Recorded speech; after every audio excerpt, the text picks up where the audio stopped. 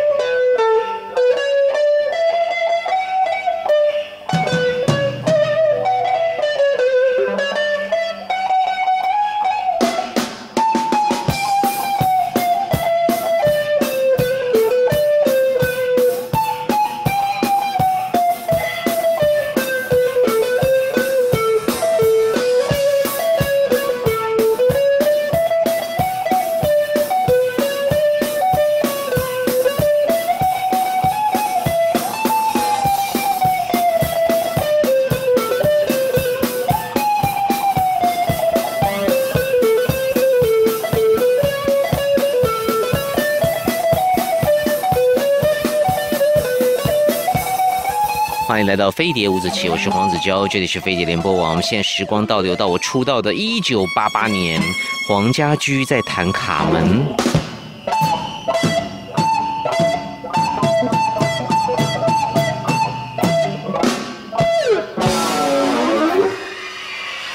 每一个暑假都是我的出道纪念，因为在那个时候呢，我的五专一年级升二年级，在东方书局打工，然后呃搬这个搬书搬教科书很重，然后又在仓库里面跟我的同班同学一起打工的伙伴呢排练脱口秀的脚本。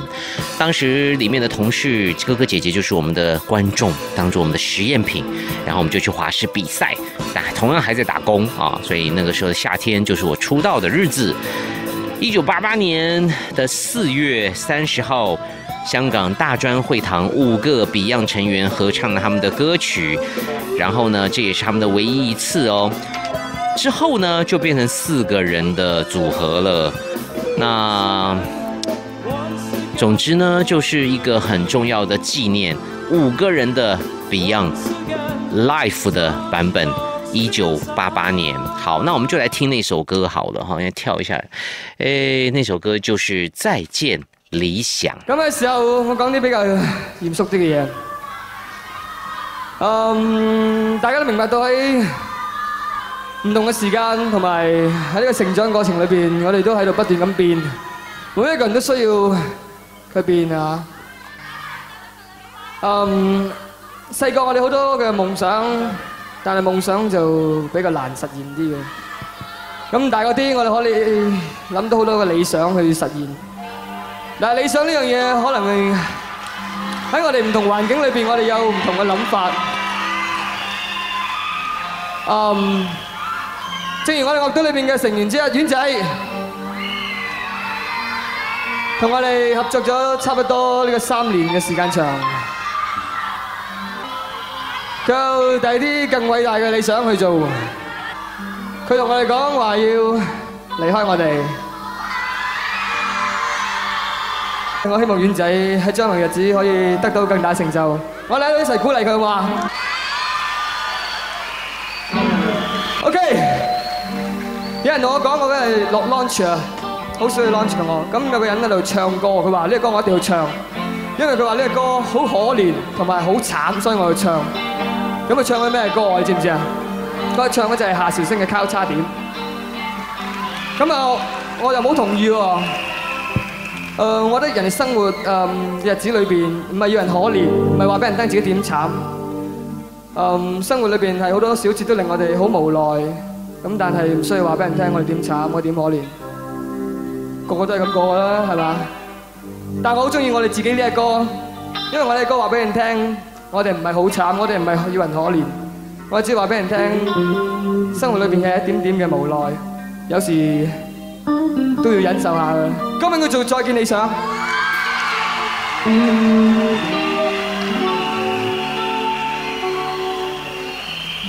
独坐在路边街角，冷风吹醒。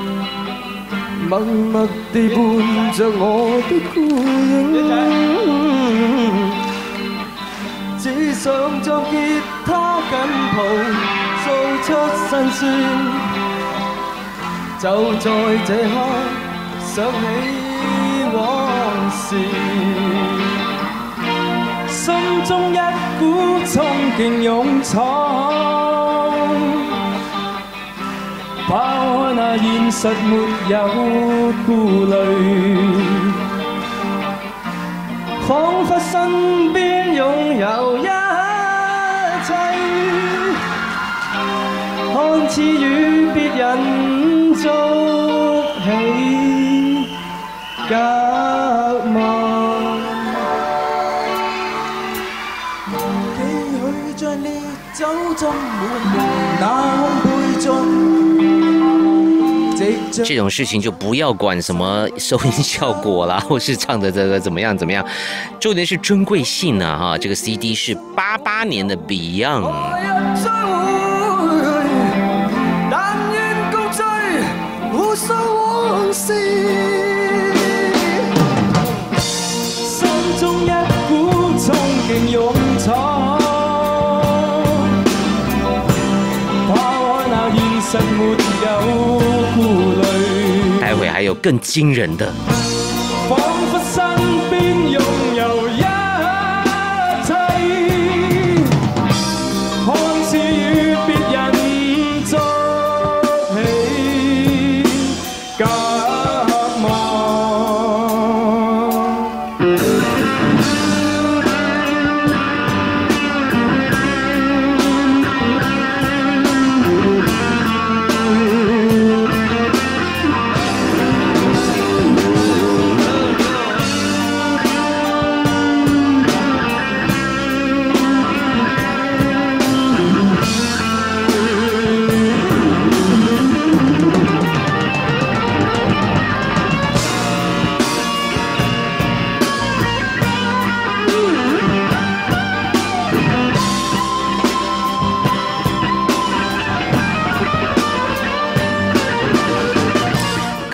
到一九八八年，其中有一位成员在唱完之后离开团体，回到他自己的团叫浮世绘了，然后呢就留下了这样珍贵的《再见理想》五人版的 final 演出。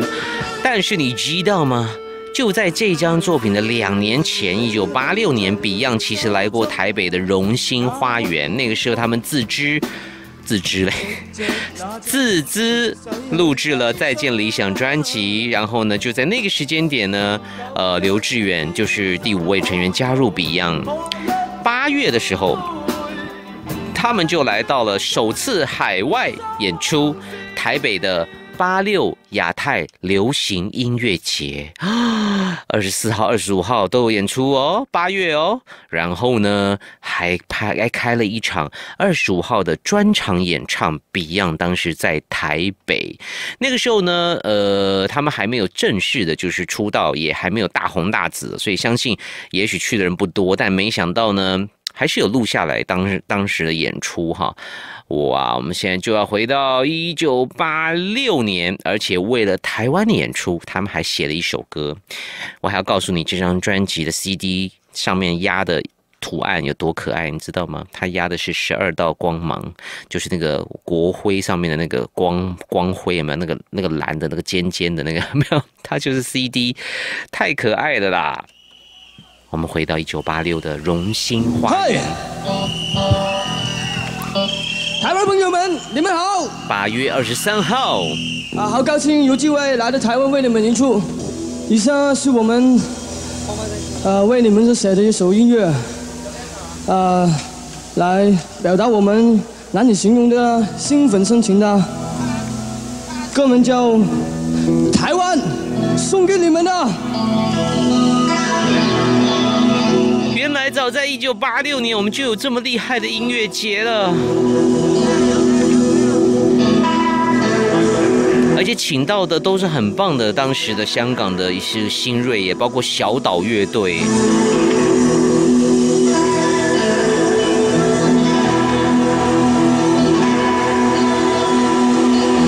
小时候画那个十二道都画的很痛苦，因为十二道要画的平均很难，有没有？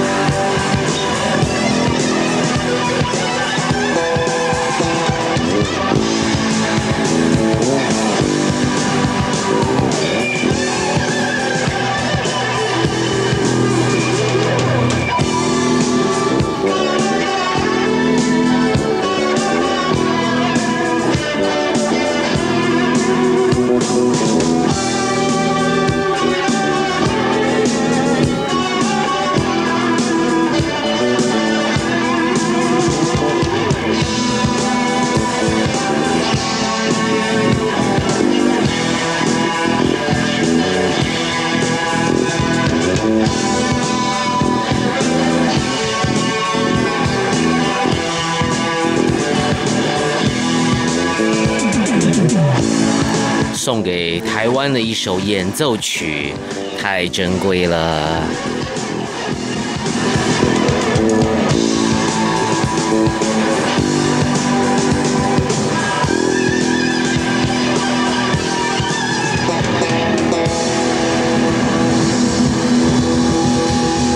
休息一下，我们再来听另外一首当时荣兴花园的演出。据说当时呢是首唱，也就是说在香港都还没发行，《金属狂人》就在台北演出。送给你们的狂人。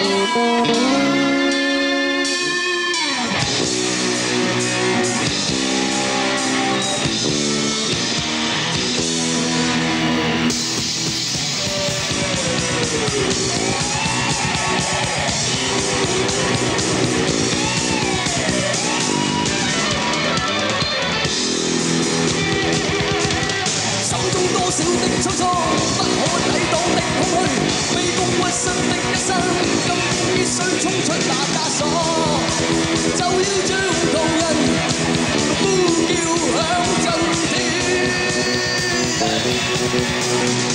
收起心中的憂傷，千刀斬不開的心，加添一分無淚，今天必須洗去那悲傷，就要將狂人呼叫響震天。今天有礼物要送哦，哦，不过跟 Beyond 是没有關係的啦。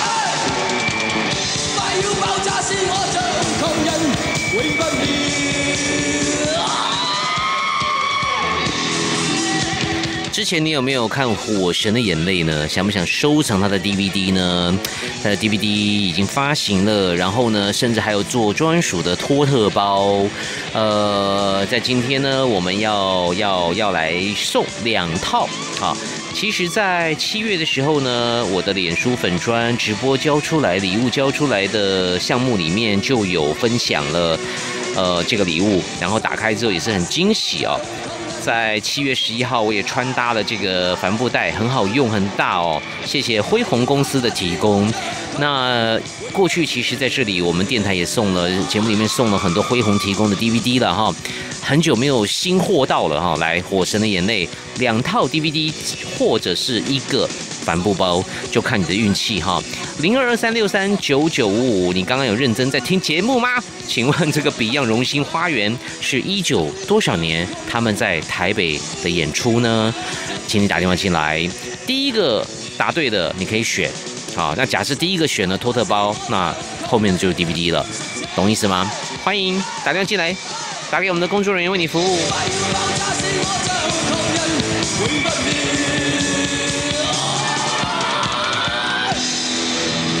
好嗨哦！哇哦，那年的夏天，我们有音乐节。呜呼！谢谢你们的支持。谢谢。哎呦，谢谢你们机器，谢谢你们机器。当然，他们不止到台北，他们也到了北京。这是一九八八年北京的首都体育馆。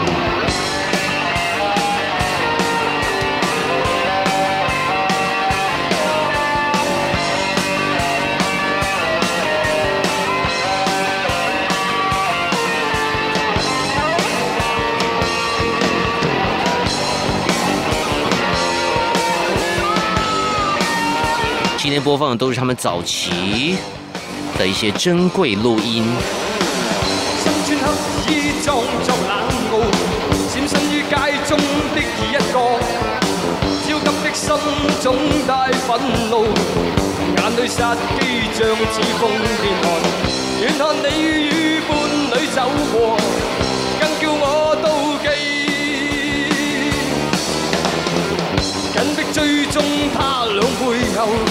火般的心窝急速跳，交出真心给你作弄，抱怨世间没有真的爱，过往与你梦的一切，这刹那消逝。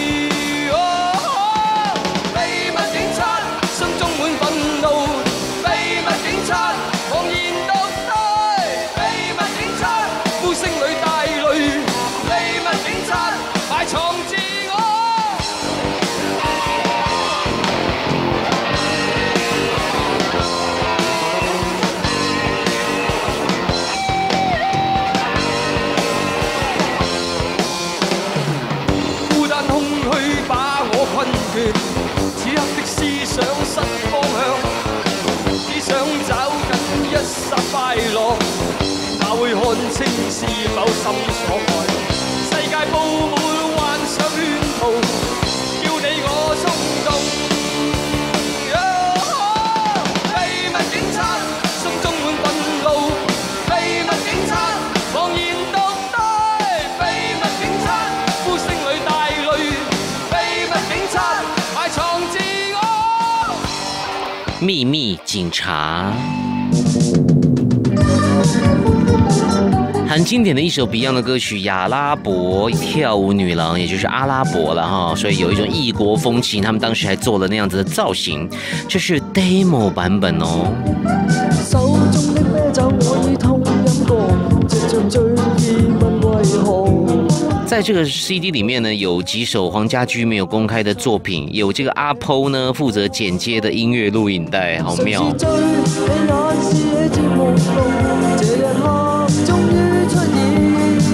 我相信我们的很多的团哈，五月天啦、四分卫啦、苏打绿，应该也有好多的珍贵记录没有发行过。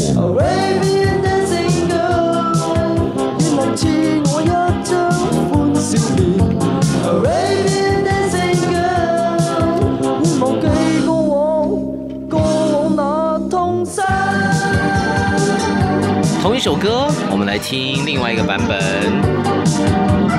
酒醒的此際，我慨嘆心裏受盡挫折，莫奈何。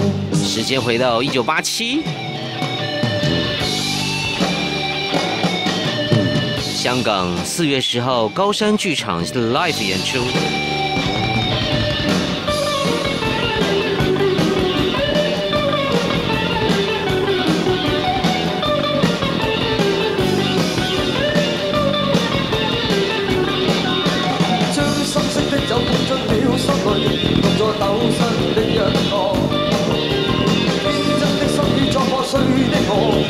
望着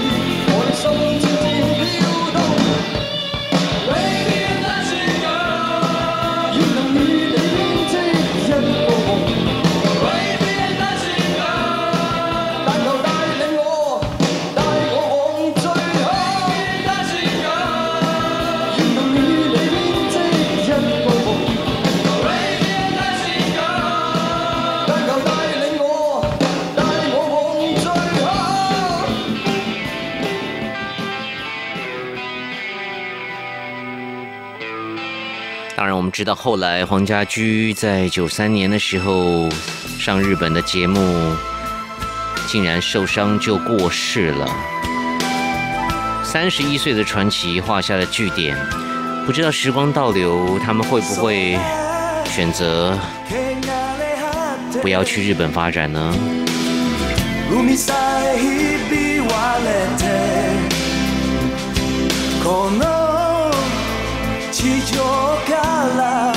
日文版本的《Paradise》。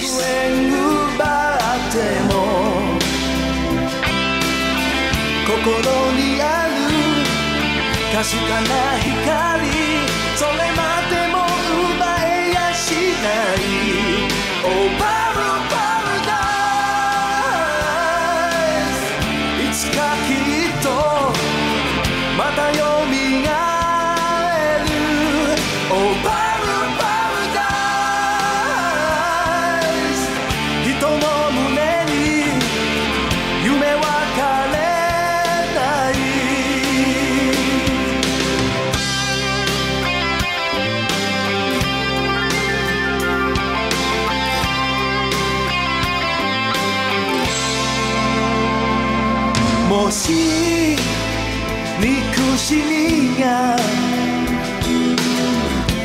全てを焼き払い很多事情世事难料啦，他也没有办法决决定，就是没有办法回去说重新做决定，然后判断到底是对的还是错的，但总是觉得好遗憾呢、这么棒的音乐人，这么会写歌唱歌，然后当时真的好红哦，每一首歌怎么写怎么好听啊，对不对？很成熟了这一切，结果却去上这个综艺节目， 然后就这么这么这么这么可惜的就就就离开了这样。哎呀，真的很唏嘘的哈。好，但是就成为一个经典传奇，到现在还是很多人会唱《黑凤梨》啊。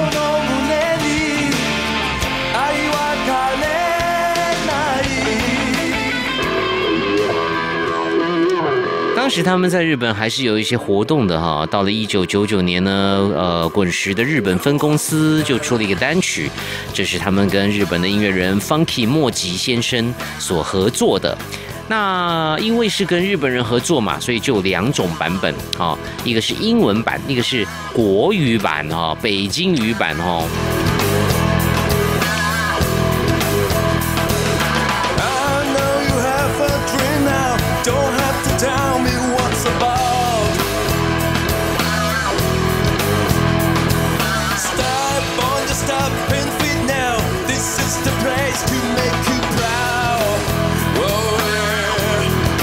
这个 Funky 莫吉本身也是一个摇滚乐团的，然后他很喜欢华人呢。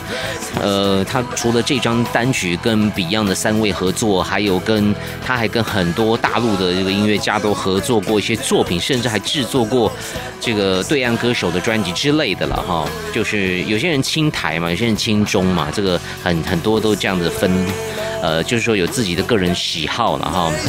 哎。invitation.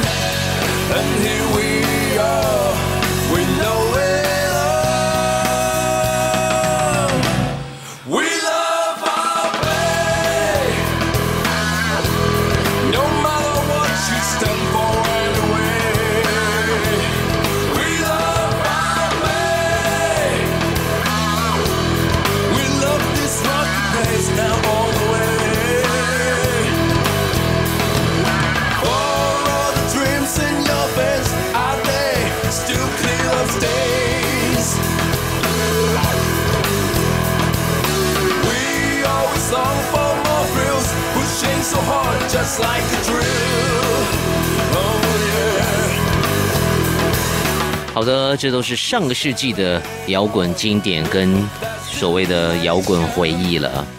时至今日，还是有很多团很努力的。这是皇后皮箱。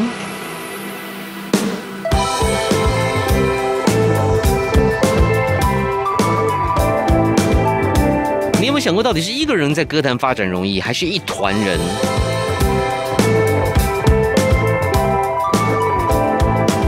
有的时候有点依靠也是不错的，可是呃，钱要分好几份哦。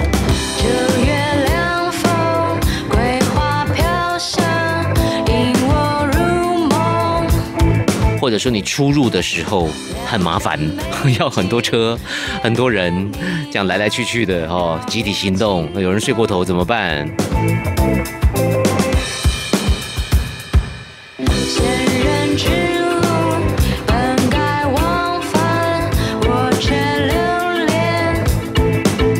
人指路，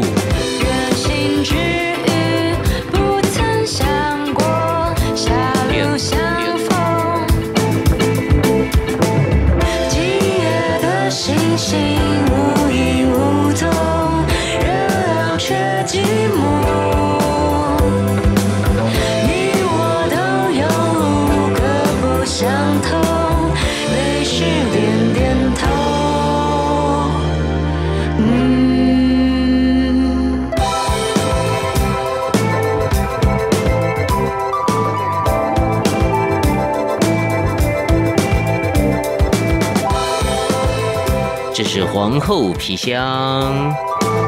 接下来这个独立乐团是 Manic Sheep。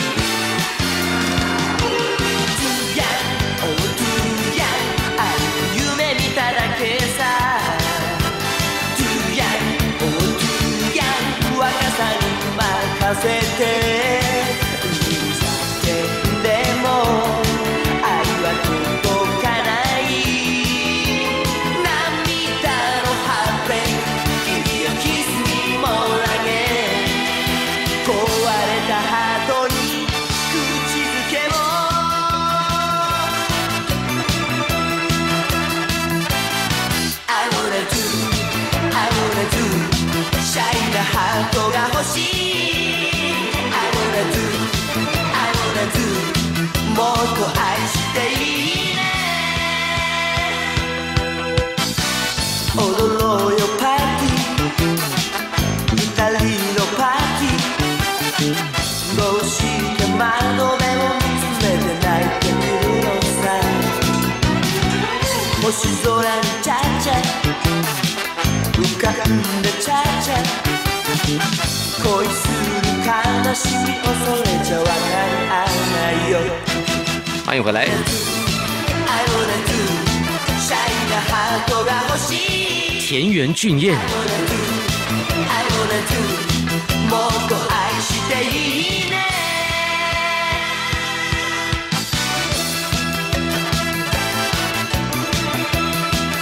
一个组曲的概念。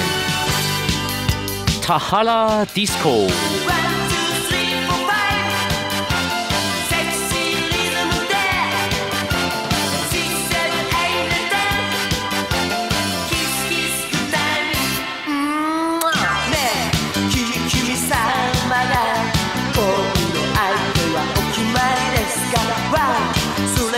two,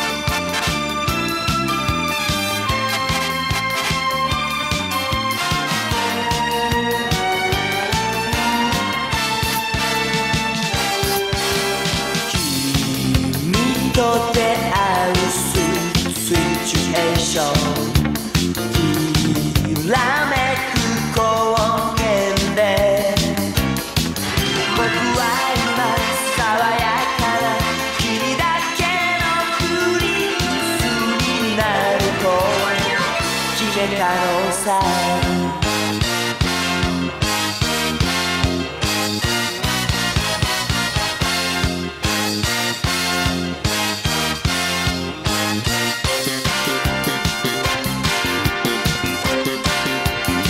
そうさその顔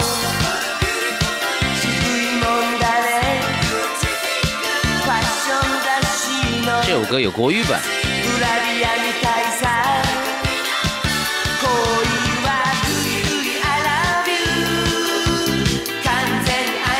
い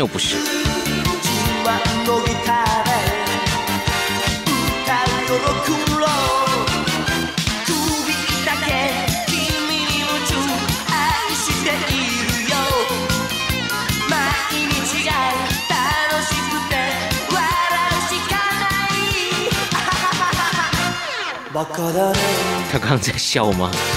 他干笑吗？哈哈哈哈哈这样子，好嗨哦！ 呀，这个是很久以前的偶像田园俊彦的歌曲。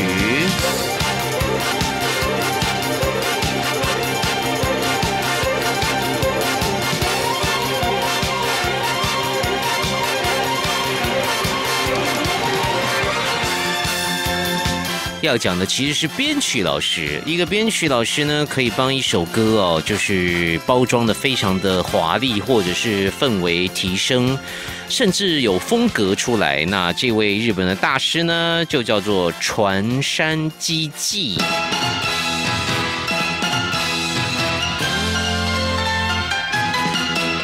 壁際に寝返り打って 哦，这首歌肯定是有国语版的。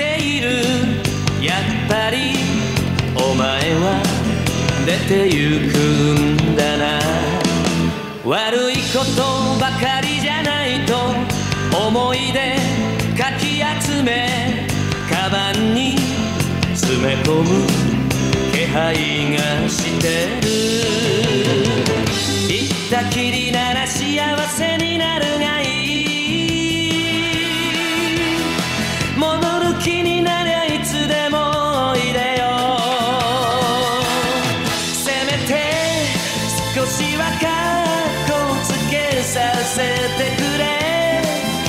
たふりしてる間に出て行ってくれあああ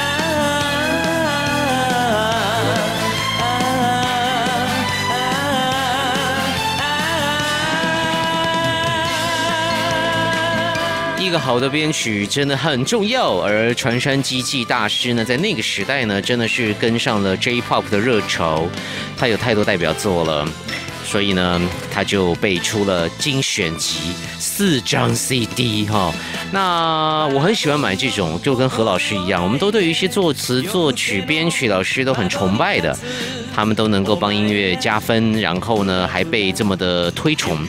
就像我之前也发文过啦，台湾有没有可能有一个编曲老师的作品跨公司的被收录成合集呢？我可以跟你打包票，不可能，就是有很多问题啦，还有那个整个结构啊，这个产业的共识了，等等等。当然还有就是台湾的朋友对编曲老师是不是真的有这么在意呢？哈，那会有人买吗？哦，不知道。或对于这种职人达人，是不是需要这么用力的去推崇他呢？这也是个问号哈、夜というのに派手なレコードかけて那对于我们这些呃怪人来讲呢，就觉得当然很重要啊。哦，可是你知道做生意不是不能这用这种这种民粹式的这种冲动去去去花钱嘛，所以 没有发行也不怪台湾歌坛了，这个就是一个整个脉络哈、整个大家对于这种流行文化的这种在意的程度，或者说是持久度所产生的结果。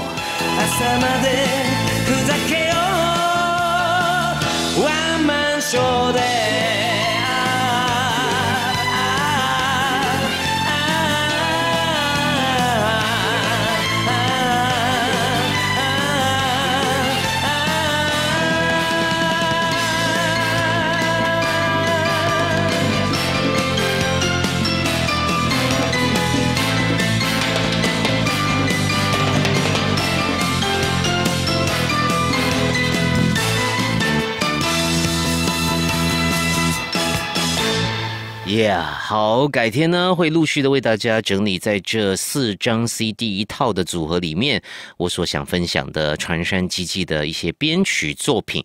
好，节目最后我们来听的是魏如萱跟鲜鱼真娥两个人呢是在两年前认识的，然后就在新专辑里面呢，哎，竟然就有一首歌的合作，《卖花的人》。